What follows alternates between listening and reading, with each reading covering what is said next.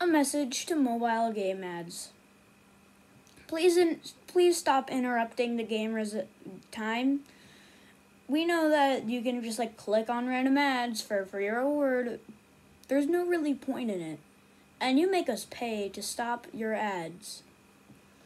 No one's gonna buy your crappy game because your ads are stupid.